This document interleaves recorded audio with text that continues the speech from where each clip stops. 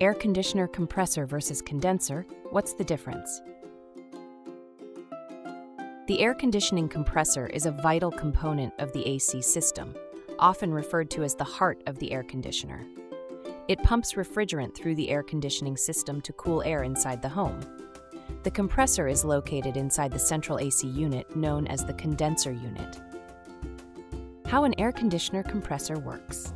The compressor receives the refrigerant after it has absorbed the heat from the home's air. At this point, the refrigerant is a warm, low-pressure vapor. The refrigerant will eventually circulate back inside the house to repeat the heat removal cycle. But first, the refrigerant must be returned to a cold, liquid state.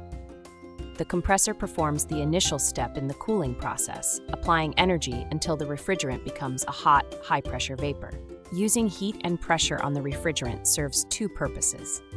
One, the refrigerant must be heated to a temperature higher than the outside air to release its heat as it travels through the condenser's coils. Two, the pressurization allows the refrigerant to flow smoothly through the coils. After the compressor heats and pressurizes the refrigerant, it flows to the condenser, and the heat is removed.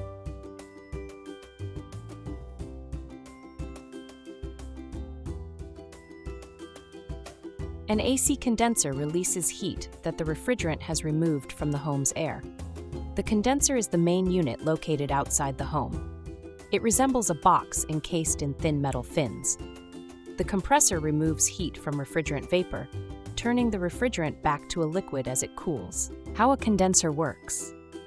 After the compressor applies energy to the refrigerant, the hot, high-pressure refrigerant vapor is released into the condenser.